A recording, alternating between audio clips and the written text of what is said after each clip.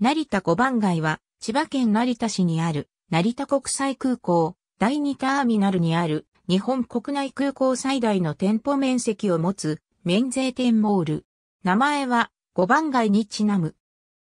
1992年にオープンした成田国際空港第2ターミナルには以前から免税店が複数存在したが2007年4月に大規模改装が行われた際に大幅に改築され、これまで国内空港最大であった第1ターミナルの成田中店を約1.4倍上回る約4000平方メートルの国内空港最大の店舗面積を持つ免税店モールとして新たに成田5番街の名でオープンした。また、免税店の他にも空間リフレッシュサロンや授乳室を完備したキッズルーム、レストランなどがある。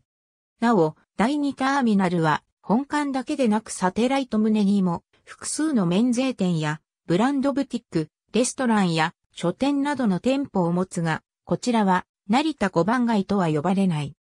JALDFS などの総合免税店だけでなく、近年の多くの空港内の免税店モールに見られるように、エルメスやグッチ、カルティエやティファニーなど世界各国の高級ブランドのブティックが多数入居していることが特徴の一つである。エルメスとティファニーのブティック。ありがとうございます。